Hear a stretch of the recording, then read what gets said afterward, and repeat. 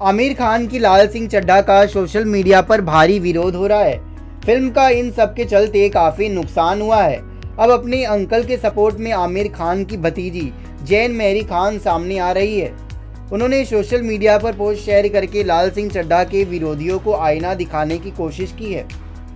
जैन मेरी खान ने अपने लेटेस्ट पोस्ट में कहा है, अगर आपने कभी भी आमिर खान की फ़िल्मों को पसंद किया हो, अगर उन्होंने कभी भी आपको एंटरटेन किया है तो प्लीज़ जाकर लाल सिंह चड्ढा को ज़रूर देखें। उन्होंने बहुत ही शानदार फ़िल्म बनाई है।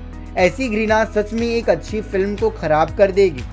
इससे पहले वीकेंड में ऋतिक रोशन ने लाल सिंह चड्ढा देखी थी और फ़िल्म की प्रशंसा करते हुए एक ट्वीट किया था। हालाँकि कुछ लोगों को ऋतिक रोशन का यू आमिर खान को सपोर्ट करना पसंद नहीं आया। लोगों ने उनकी आने वाले फ़िल्म विक्रम वेधा का भी बॉयकॉट करने की मांग कर डाली। फ़िल्म की रिलीज़ से पहले ट्विटर यूज़र ने hashtag boycott Laal Singh Chaddha trend कर रहा था।